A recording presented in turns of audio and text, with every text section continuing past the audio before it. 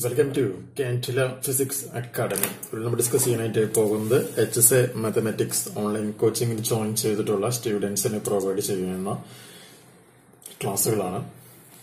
So ഇന്ന് നമുക്ക് കുറച്ച് അഡീഷണൽ ആയിട്ടുള്ള കുറച്ച് പോയിന്റ്സ് പ്രോബ്ലം സോൾവ് ചെയ്യാനായിട്ട് നമുക്ക് ആവശ്യമായിട്ടുള്ള കുറച്ച് പോയിന്റുകൾ നമുക്കൊന്ന് ഡിസ്കസ് ചെയ്യാം.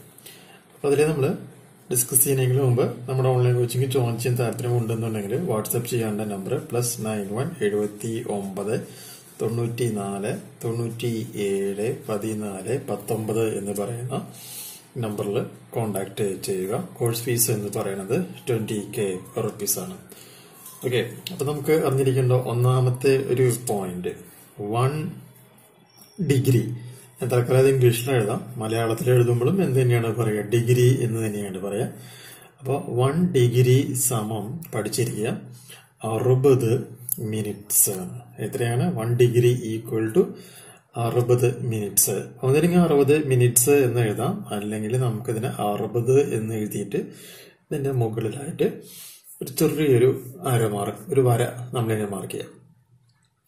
ഇനി രണ്ടാമതായിട്ട് അറിഞ്ഞിരിക്കേണ്ടതാണ് വൺ മിനിറ്റ് എന്ന് പറയുന്ന കോൺസെപ്റ്റ് വൺ മിനിറ്റ് എന്ന് പറയുകയാണെങ്കിൽ അത് അറുപത് സെക്കൻഡ്സ് ആണ്. വൺ മിനിറ്റ് ഈക്വൽ ടു അറുപത് സെക്കൻഡ്സ് എങ്ങനെ എഴുതാന്ന് വെച്ചിട്ടുണ്ടെങ്കിൽ അറുപത് എഴുതിയിട്ട് ഇതിന്റെ മുകളിലായിട്ട് രണ്ട് ഹൈഫൺ പോലെ രണ്ടായിരം മാർക്ക് മാർക്ക് ചെയ്യാം. ഇനി നമ്മൾ ഇതിൽ അറിഞ്ഞിരിക്കേണ്ട അടുത്ത പോയിന്റ് ആണ് നൂറ്റി എൺപത് ഡിഗ്രി എന്ന് പറയുകയാണെങ്കിൽ അത് പൈ റേഡിയൻ ആണ്.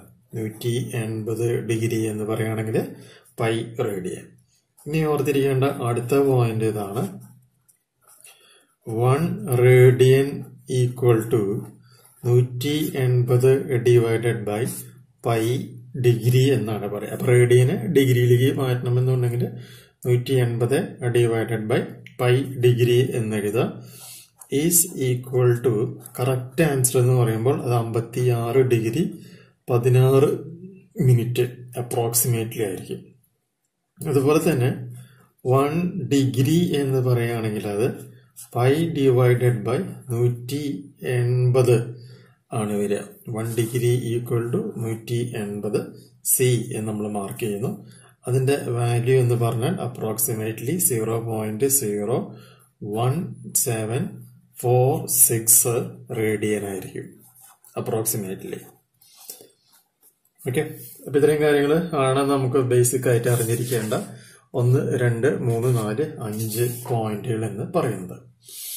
ഇനി നമുക്ക് പ്രോബ്ലംസ് ഒക്കെ സോൾവ് ഭാവിയിൽ ഇനി പ്രോബ്ലംസ് സോൾവ് ചെയ്യാനായിട്ടുള്ള ഒരു എളുപ്പത്തിന് വേണ്ടിയിട്ട് കുറച്ച് വാല്യൂസ് ഉണ്ട്. ആ വാല്യൂസ് നമുക്കൊന്ന് ഓർത്തിരിക്കാം. ഞാനിവിടെ ഡിഗ്രി എന്ന് എഴുതുന്നു. ഈ ഭാഗത്തായിട്ട് റേഡിയൻ എന്ന് മാർക്ക് ചെയ്യുന്നു. ഡിഗ്രി മുപ്പത് ഡിഗ്രി ആണ് എന്നുണ്ടെങ്കിൽ അതിന് കറസ്പോണ്ടിങ് ആയിട്ടുള്ള റേഡിയൻ എന്ന് പറഞ്ഞുള്ളത് പൈ ബൈ സിക്സ് ആണ്. നാൽപ്പത്തി അഞ്ച് ഡിഗ്രി എന്ന് പറയുകയാണെങ്കിൽ അത് പൈ ബൈ ഫോർ ആണ്. അറുപത് ഡിഗ്രി എന്ന് പറയുകയാണെങ്കിൽ അത് പൈ ബൈ ത്രീ ആണ്. പൈ ബൈ ത്രീ ആണ്. ഇനി തൊണ്ണൂറ് ഡിഗ്രി എന്ന് പറയുകയാണെങ്കിൽ അത് പൈ ബൈ ടു ആണെന്ന് മനസ്സിലാക്കിയിരിക്കാം. നൂറ്റി മുപ്പത്തഞ്ച് ഡിഗ്രി എന്ന് പറയുകയാണെങ്കിൽ അത് three pi divided by four ആണ്. നൂറ്റി എൺപത് ഡിഗ്രി എന്ന് പറയുകയാണെങ്കിൽ അത് പൈ ആണ്. ഇരുന്നൂറ്റി എഴുപത് ഡിഗ്രി എന്ന് പറയുകയാണെങ്കിൽ അത് three pi divided by two ആണ്. അതുപോലെ തന്നെ ത്രീ സിക്സ്റ്റി ഡിഗ്രി എന്ന് പറയുകയാണെങ്കിൽ അതിന്റെ വാല്യൂ എന്ന് പറഞ്ഞാൽ എത്രയാണ്?